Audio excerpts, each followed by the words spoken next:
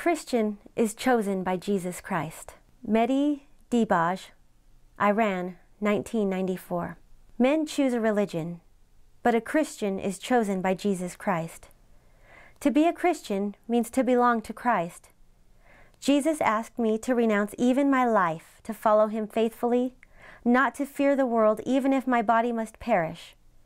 I prefer to know that God, the Almighty, is with me, even if it means that the whole world is against me. I am in God's hands. For 45 years, I have walked with the God of miracles, and His goodness is for me a shadow that protects me in His love. The God of Daniel, who protected his friends, protected me during my nine years in prison, and all the torments changed to my good, so that I have the fullness of love and gratitude. Of all the prophets, Jesus alone was resurrected from the dead, and he remains our living mediator forever. I gave my life into his hands. For me, life is an opportunity to serve him, and death is the privilege of getting to be with him. Pastor Mehdi Dibaj of Iran was on trial for his life, and these words were the defense he gave in court. An upper class Muslim, he and his family had converted to Christianity. He had dared to translate Christian radio programs and books into the Farsi language. He was arrested in 1985 and accused of apostasy, denying the Muslim faith. For this, he faced the death penalty. In Iran, social and political pressure is sometimes used to force Christians to recant their newfound faith in Jesus Christ. Some are even tortured. Dibaj was imprisoned alone for two years in a cramped hole with no room to stretch his legs. While he was in prison, his wife, Aziza, left Dibaj and was forced to marry a Muslim. When Dibaj steadfastly refused to deny his faith, the court condemned him to death but after one month he was set free because of international attention that had been brought to this case. Soon after this, however, he was found dead in a park. It is believed by some that Islamic leaders had called for his execution. Despite losing their father, his four children remained faithful to Jesus Christ. As he faced the court that would sentence him to death, Pastor Dibaj said, I prefer to know that God, the Almighty, is with me even if it means that the whole world is against me. He had learned the secret of being able to stand alone among men, standing with God. Pray for radio programs that preach the gospel to Muslims. Pray for safety for all those involved. Pray for the listeners that the Word of God will penetrate their darkness and bring them a new life in Jesus Christ.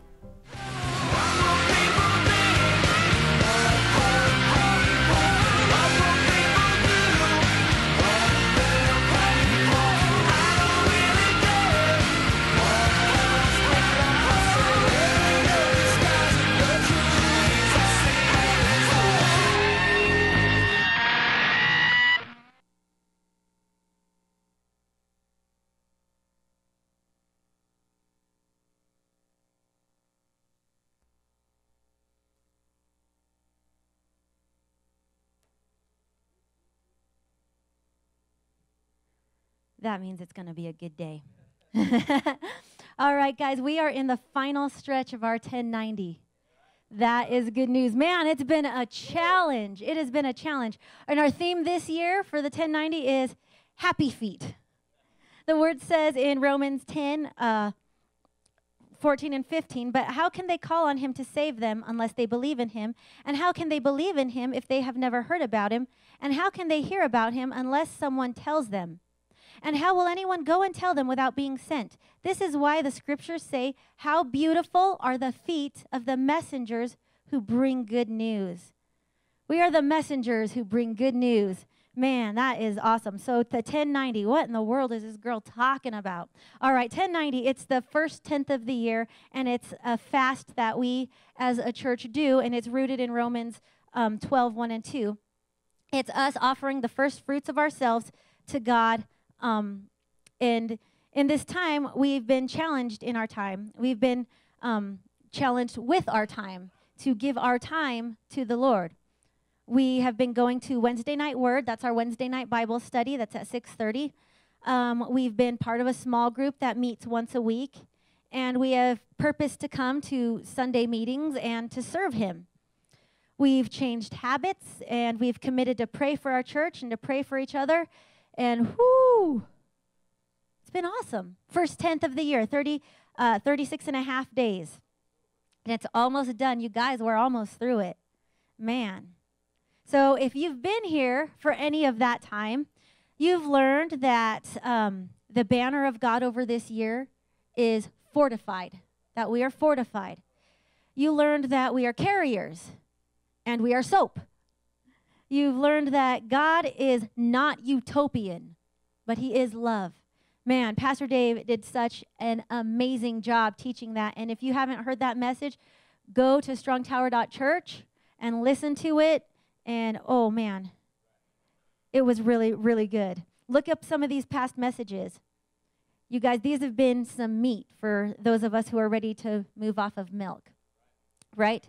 We've been called to grow up. And it's good. It is good.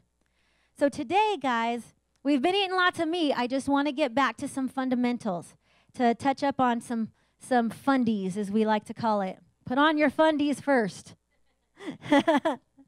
yes, I did just say that. So we're going to talk about some fundamentals.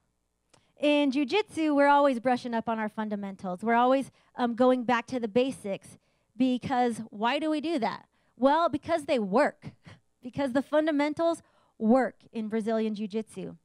And I love how learning self defense in the physical mirrors learning self defense in the spiritual. It, it's, it really does. It's amazing.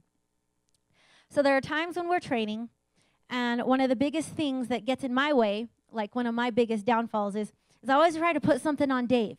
And he doesn't tap. He doesn't like say, okay, you got it. Like he doesn't tap me right away. And so I let go of that one thing that I have and I try something else. And then he comes out and his like face is all red and he's like, dude, you had that. If you would have just waited a couple more seconds, I would have tapped. Dang it! Ah, if I would have just believed. Ah. So today we're just gonna brush up. We gotta we gotta keep our we gotta keep our, our game on point, right? So, first off, we have to know Jesus is the foundation. Everything we build on, we build on Him, we build with Him, we build through Him, and we build by Him because of His grace. He is the foundation. So, how? How do we build? Well, we learn who He is. That's how we build. We learn who Jesus is and we learn who we are in Him. We are exhorted in Romans 12, 1 and 2, in Colossians 1:10, in 1 Thessalonians 4, 1, and in many more places to live a life that is pleasing to God. To live a life that's pleasing to God. Okay, that sounds good. Yeah, I definitely want to do that. So, how? Don't you hate when someone tells you, hey, do this, and then they don't tell you how? Give it to God. Thanks for that. How? I want to live a life pleasing to God. How do I do that? And here, Christians, like, this is where we, like, we get all stumbly with it because we make up our own way. Well, that makes me really happy. So I'm going to do that because that makes me happy, right? That's living a life pleasing to God. God wants me to be happy. He does. What sounds like the biggest sacrifice for me? What is the biggest sacrifice for me? I'll do that, or I won't do that. That's what I'll do. That's how I'll live a life that's pleasing to God. What would make me look the holiest? I'll do that. And guys, that's that's fine. Those are good goals. But there is only one way to please God. There is only one way to please God. And if you haven't got that, then the Bible tells us that all the stuff we do, all the works, all the stuff we do, they are as filthy rags. We're not going to go into detail about what filthy rags means, but basically is yuck trash. Someone say yuck trash. It's yuck trash, man. So, how do I live a life pleasing to God? What's my fundies? What do I got to put on? Turn to Hebrews 11. We put the fun in fundamentals or the mental, I don't know. Hebrews 11. I'm going to read 1 through 3 and then 6. Here's how we please God. That's right, you got it highlighted. Now, faith is the substance of things hoped for, the evidence of things not seen. For by it the elders obtained a good testimony. By faith, we understand that the worlds were framed by the word of God, so that the things which are seen were not made of things which are visible. But without faith, it is impossible to please him. For he who comes to God must believe that he is, and that he is a rewarder of those who diligently seek him. Come on, guys, what are our fundies? Faith. That's right, faith. We can know from the Bible that without faith, it is impossible to please God. Look, guys, faith is essential. It is fundamental in your building. Without it, whatever you build is not going to stand. Faith is crucial to living a life pleasing to God. God is so good that when we are born again, that's when we believe Jesus is the Son of God, that He really lived, that He really died, that He really rose again, and that He's really coming back for His church. And when we make Him Lord of our lives and accept Him as Savior, God completely equips us with what we need to live a life pleasing to Him. Romans 12:3 It says, For I say, through the grace given unto me to every man that is among you, not to think of himself more highly than he ought to think, but to think soberly according as God has dealt to every man the measure of faith. God has, get, God has dealt to every man the measure of faith. There are times when we get stuck, okay? We get caught and, and life gets crazy and it gets overwhelming and things happen. And then we eternal we internalize that. And we say like, "Oh man, this needs to happen. I just need more faith. I just need more faith for this God. Give me more faith for this." But Romans 12:3 tells us that there is a measure of faith and God's already given it to you. We have it. We have the measure of faith. You don't need more faith. What you have is enough. But it's up to you to be a good steward of the measure of the faith that you were given. It's up to you to grow it. So when you were born, you were covered with skin, right? You're covered in skin. And as you grew, did your mom or dad have to go out and buy you new skin? New clothes, maybe, for every month you were alive, but new skin. No, you were given a measure of skin, right? And as you grew, your skin grew with you. Are you picking up what I'm throwing down? All right, you were given the full measure. Now, as you grew from milk and you moved onto solid food, you needed bigger clothes. You got new clothes, but you didn't get new skin. Your skin grew with you as your body grew.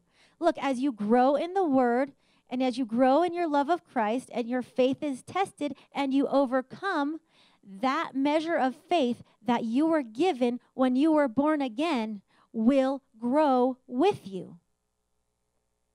You have all the faith you need. You guys, you are well equipped to living a life that is pleasing to God. Isn't that good news? Come on, that's good news. I got pretty feet right now. That is good news. Okay. so now we're taking what we have and what we know, and then all of a sudden, because Christianity isn't rainbows and gummy bears, and if somebody told you that, they lied. I'm just going to throw down some truth right now. If you were told that, you were lied to. Sorry. We get thrown into situations that we weren't expecting. Anybody ever been thrown into a situation they weren't expecting? All right, cool. Me too. You're not alone. We get overwhelmed. Anybody ever been overwhelmed? Yes? Okay, me too. Been there. Man, it's crazy. Look, you guys, some it, we ha- life happens, man. Things happen. We feel like we've been blindfolded. We feel like we've been spun and the bottom comes out from under us and First of all, it's not just you. It doesn't mean that your faith is weak. If that happens, your faith is not weak. Okay? You've been given the full measure of faith. You have what it takes to get through it. Your faith is not weak. So if you find yourself in that situation, don't don't believe that lie. Don't believe that lie. Your faith is not weak. And it's nothing to be embarrassed about if you find yourself there. You guys, that's why we're here today. That's why we have each other. That's why God gave us each other. You guys, this is life. It's just life. The Bible tells us that we're going to have to fight for our faith. We have an enemy who's trying to rip us away from a God who loves us. We have an enemy who will do whatever he can to steal from us, to steal our friendships, to steal our stuff, to steal our finances, to steal our family. We have an enemy who is trying to kill our joy, to kill our success, to kill us. We have an enemy who wants to destroy us, who wants to destroy our legacy, who wants to destroy our faith, who wants to destroy our salvation. Okay, that's real. Check out Jude, verse 3. I love how the message translation of the Bible puts it. It says this Dear friends, I've dropped everything to write you about this life of salvation that we have in common. I have to write insisting, begging that you fight with everything you have in you for this faith entrusted to us, for this faith entrusted to us as a gift to guard and cherish. Read that again. Okay, dear friends, I've dropped everything to write you about this life of salvation that we have in common. I have to write, insisting, begging that you fight with everything you have in you for this faith entrusted to us as a gift to guard and to cherish. Your faith is what you have to live a life pleasing to God, and the world wants to beat it out of you. The world wants to beat it out of you. See this? This is my jujitsu training stuff. This tells you a couple things about me. I have this, I live with this, and I live with this. It tells you that I'm built for combat, both physical and spiritual. I am built for combat. Your faith is what you have to live a life pleasing to God. The world wants to beat it out of you. And a lot of times when it's trying to beat it out of you, guys, it happens through our own words through our own words. So I just want to give you some tools to shift your words and to shift your thinking and bring it back to set your sights on victory and not on defeat. Okay? Anybody want that?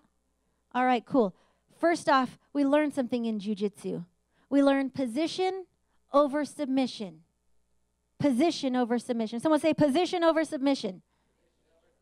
All right. So what does that mean? That means if you can't control the position you're in, you're not going to get the submission you're going for. So control your position first and worry about the finish later. The same is true in the kingdom of God. Do not give away your birthright. All right? Do not give away your birthright. Position over submission. In Genesis 25, there are two brothers. One was firstborn. So, as firstborn, Esau, he had an authority he gets authority as firstborn. He was going to receive a double portion of inheritance and a blessing from his dad. So when his dad passed away, as his birthright of the firstborn, he would um, he would become like the new head of the household. He would become the new the new one in charge. Okay, this is his birthright. So if you have your Bibles, open to Genesis 25. We're going to go 29 through 34.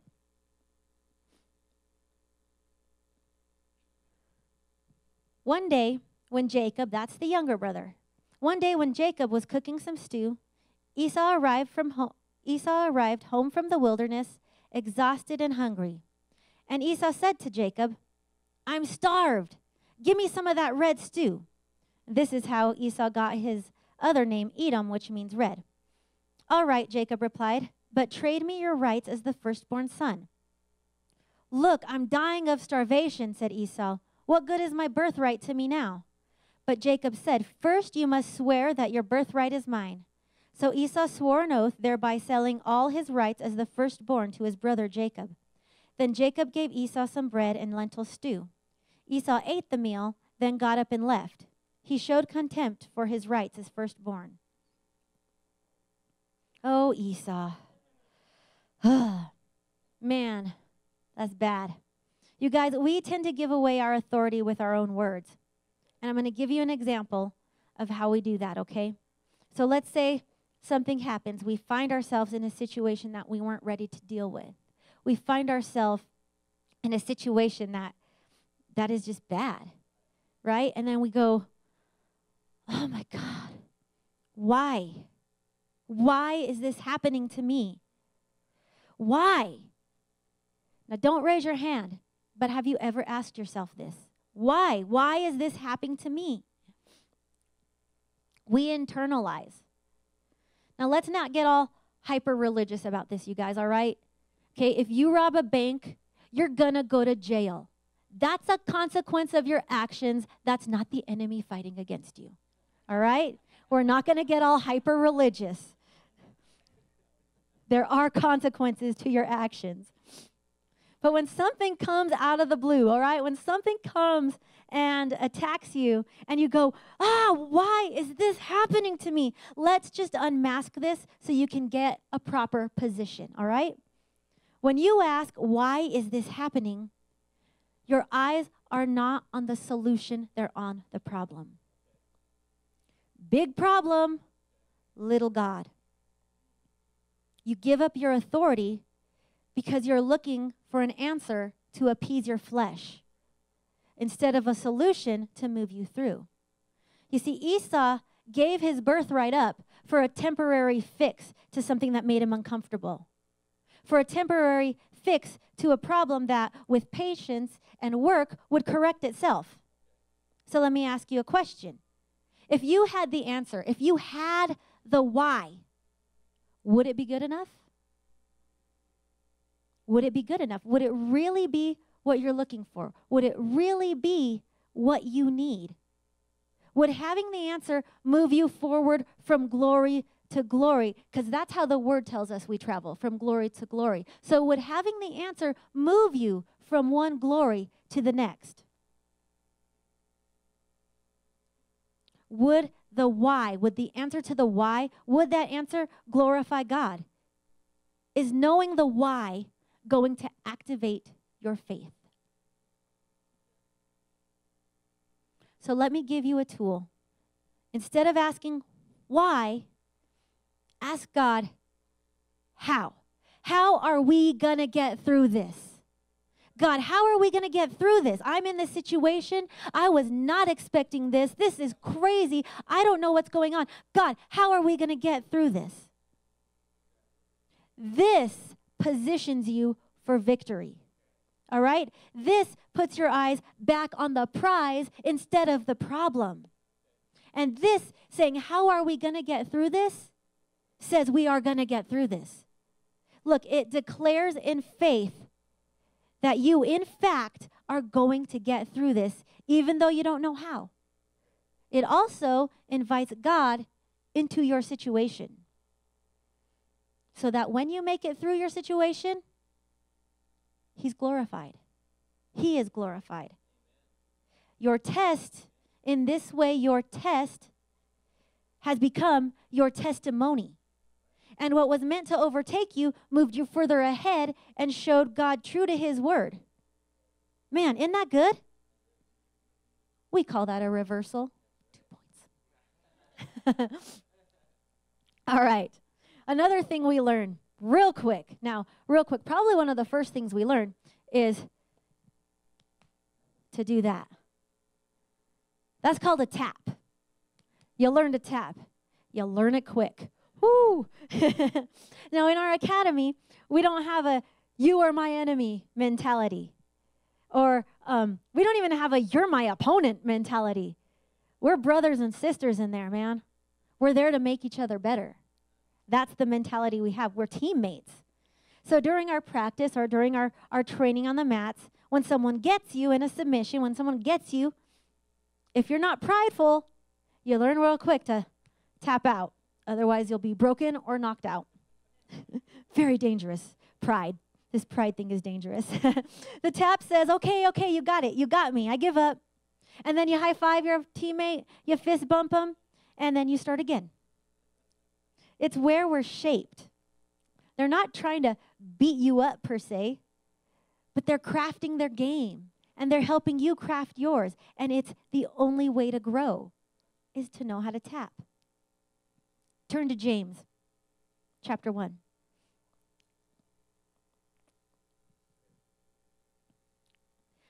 I'm going to read 2 through 4. Consider it a sheer gift, friends, when tests and challenges come at you from all sides. You know that under pressure, your faith life is forced into the open and shows its true colors. So don't try to get out of anything prematurely. Let it do its work so you become mature and well developed, not deficient in any way. Man, Dave taught so well a couple weeks ago God is not utopian. Look, in a utopian society, we never face adversity. But, guys, I'm going to just take a commercial and bring it here. That's not how any of this works. All right? That's not how any of this works. And utopia is not love. Trials are going to come. All right? Trials are going to come. In life, you don't get a participation ribbon. You win and you lose, and you learn how to deal with both. You might not be celebrated, okay? You might not be celebrated, but the goal isn't being celebrated for living on earth. I don't want to be celebrated on earth. I want to be celebrated in heaven. Come on. We get caught up here on earth in celebrating and celebrating mediocrity. Everyone needs to feel special. Everyone needs to be celebrated. Everyone, well, not everyone can do that. Well, not everyone can. Come on, man. That's okay for little kids, but we aren't little kids. We're not. It's time to be the grown ups in the room. It is possible to win, and it is possible to lose. and you better know it. You better know it. The goal is not to be celebrated, the goal is just to move from glory to glory. Keep moving, keep growing, okay? You've not arrived until you're in heaven. That's when you've arrived. The enemy, he would like to make you think that you've arrived, right? He'd like to make you think you have it all. He'd like to make you think you know it all. Because you know what? If you've arrived, guess what happens? You stop traveling. When you've arrived, why you got to go any further? Right? Beware of that. Beware of people who've already arrived. You guys, pride will stunt your growth. Pride will be your fall. Don't get caught up in that. When you think you know it all, you close the door to Jesus. All right? Look at Matthew 13 and 58. Now, he did not do many mighty works there because of their unbelief. They knew it all. That's talking about Jesus in his hometown. Okay? Is this not the carpenter's son? Isn't this Mary's kid? This is Joe's boy. We know this guy. It's just a carpenter. So? And he could do, he did not do many mighty works there because of their unbelief. You guys, it is okay to be in learning, to be in a time where you don't know the answers. It's okay to be in learning, to allow yourself to grow. It's okay to go to God and say, Lord, I tap. Help me. That's why when we're in worship, we have our hands up. That means I surrender. It's the Christian I tap. All right?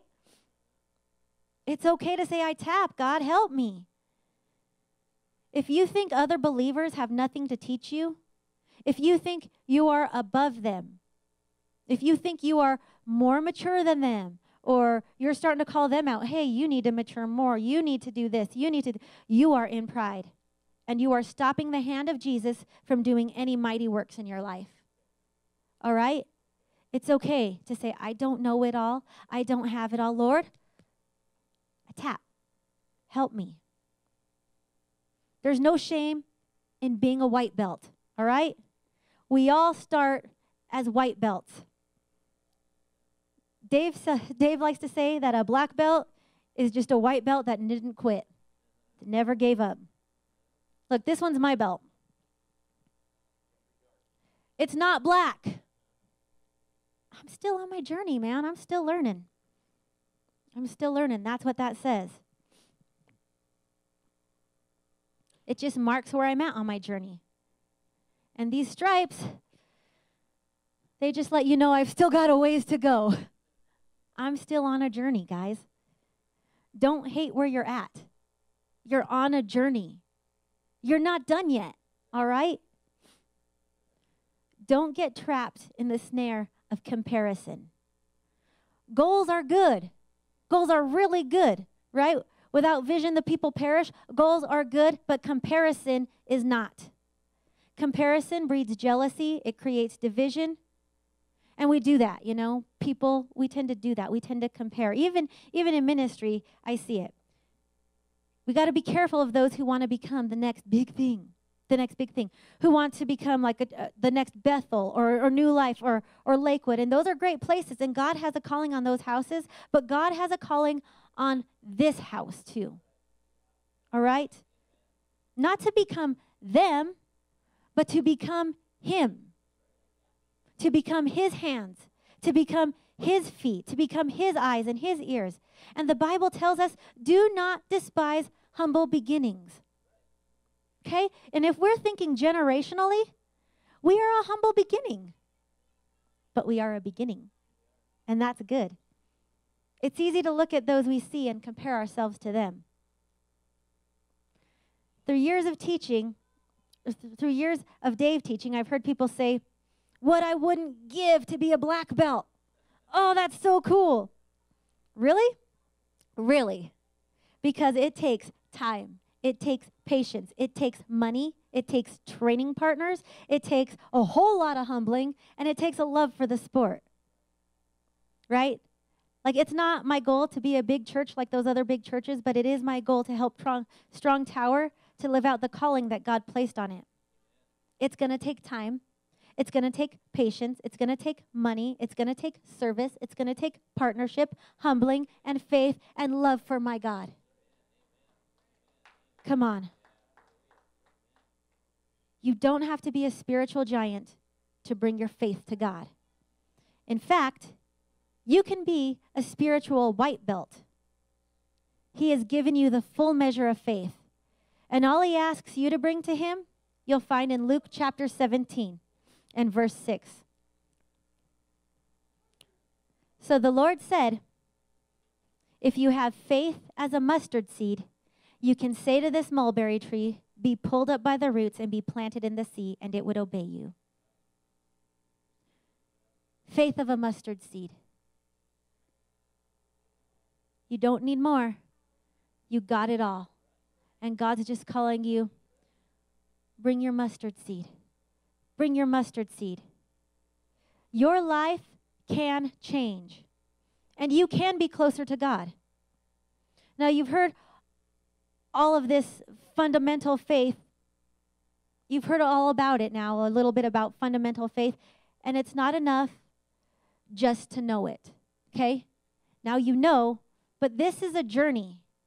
And as we grow, faith is one of those fundamentals that we have to keep brushing up on. We have to keep checking in with. We have to keep fed, and we have to keep growing. James 1 22 and 25 says, But don't just listen to God's word you must do what it says, otherwise, you're only fooling yourself. But if you look carefully into the perfect law that sets you free, and if you do what it says and don't forget what you've heard, then God will bless you for doing it. So we've heard the word. We will be tested in our faith. So now we got to do it. Bring it to Him to be activated, to go from white belt to blue to purple to brown to black to grow. Amen. Pastor Dave, will you close us out?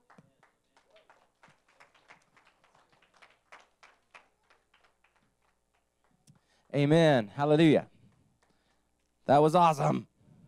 Man, you guys blessed today? That was awesome. Hey, great job, children's children's team. What are we gonna call our children's team? Let's call them heroes. Our children's heroes. Who are our heroes this morning? If you worked in children, stand up. We want to we want to recognize you. Who worked in children? Right here, back there. Amen. God bless you guys. I think Doreen's still back. I think Doreen and Ruth are back there. Um, God bless you guys. Thank you. How was it? Was it good?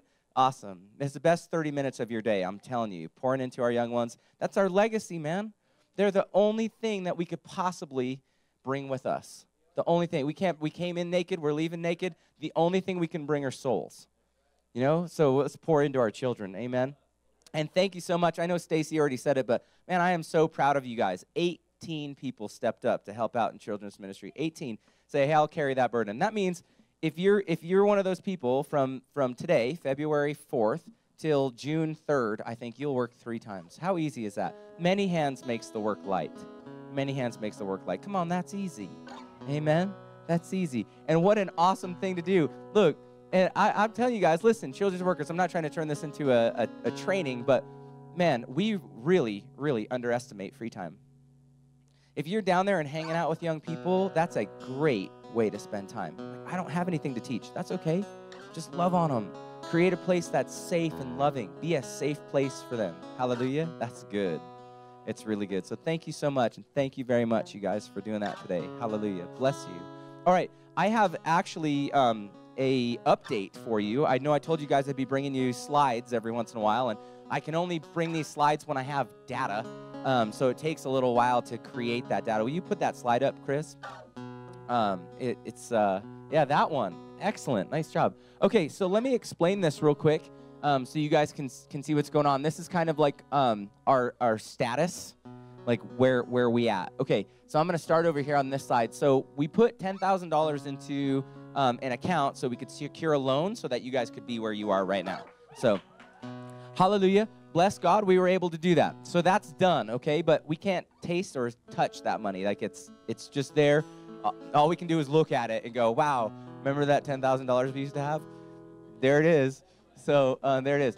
But then, then we have to, we pay our own escrow sometimes out of your loan. You know, you guys, whoever has mortgages in the house, you probably pay a little more than your mortgage and then they take out what's called escrow, right? We don't do that. We pay our escrow separately. It's cheaper that way. So we've put some money aside and we've already hit that goal. It's a little over $2,000. So boom, escrow's done.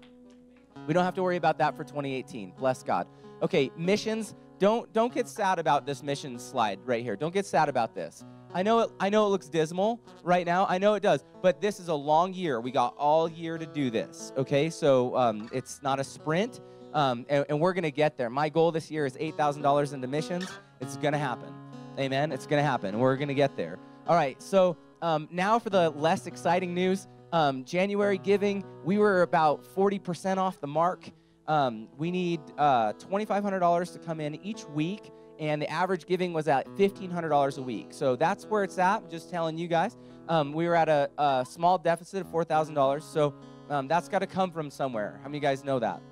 Like when your bills are due, like that money's got to come from somewhere. Where's that money going to come from, Pastor Dave? I don't know. God's gonna God's gonna fix it. Hallelujah.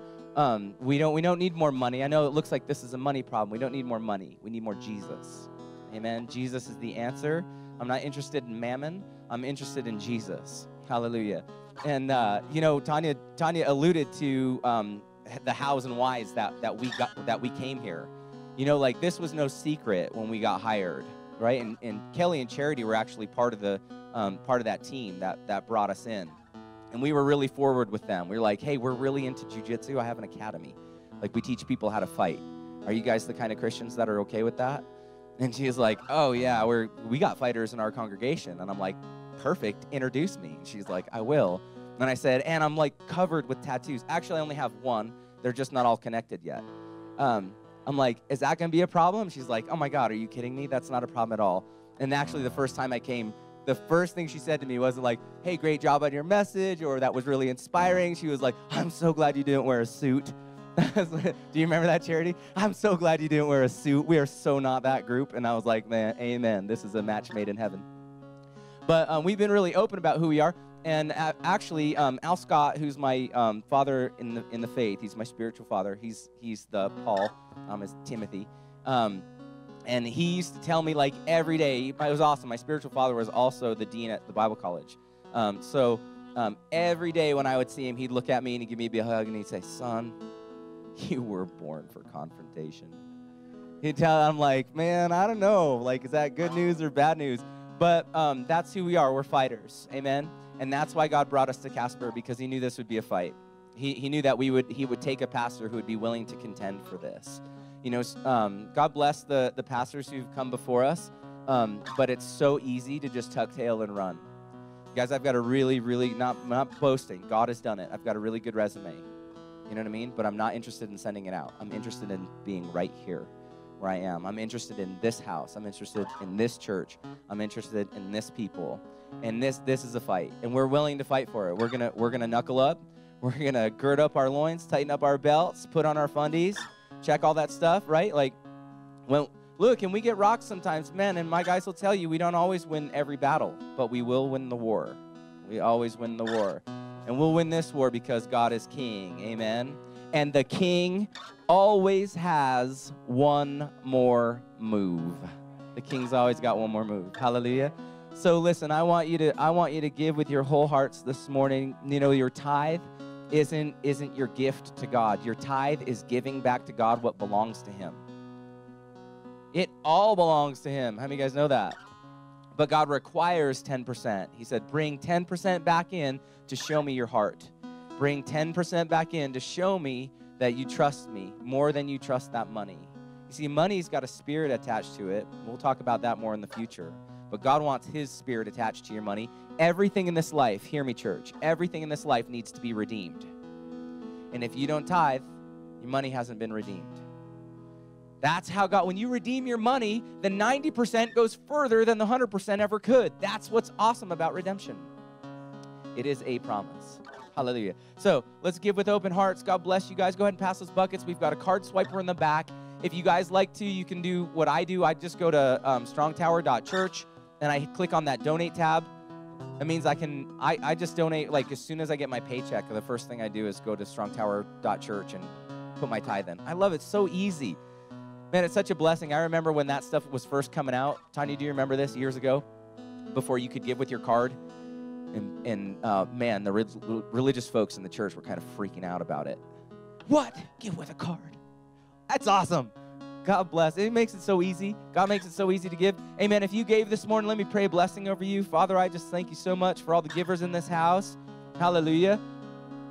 I thank you that they would join with us and partner with us. God, we made 60% of our goal last month. 60%. That's awesome. It's awesome. But we know that you're not a 60% God. You're not an 80% God. You're not a 99.9% God. You are a 100% God. And so I thank you, God, that this month, that this is our day. Man, this is our day. And what a test, man. February is a short month. God, I trust you in Jesus' name to bring in the tithe to the storehouse that your account might be full. Thank you, Lord, that our hearts that our hearts would be directed toward our king and not directed toward any other thing. We thank you, God. Man, okay, so for those of you who did not give but you want to, I want to pray for you right now. God says that he would provide seed to the sower. So, Lord, I thank you for those hearts that are desperate to give, those hearts that desire to give. Show them how to give, Lord. Show them that that it's not being able to afford to give, God, it's we can't afford not to. We can't afford to have our monies taken by the enemy. So Lord, we thank you that you would save us, save us, save us from the enemy who would come and try to deplete our finances and deplete our resources. I thank you for that. And I pray, God, look, if you didn't give but you wanted to, listen, don't be in shame.